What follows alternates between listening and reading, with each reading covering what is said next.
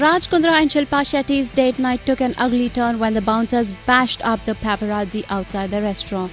A video of the entire confusion had gone viral, where by the end of the video we see a photographer bruised and bleeding from his face.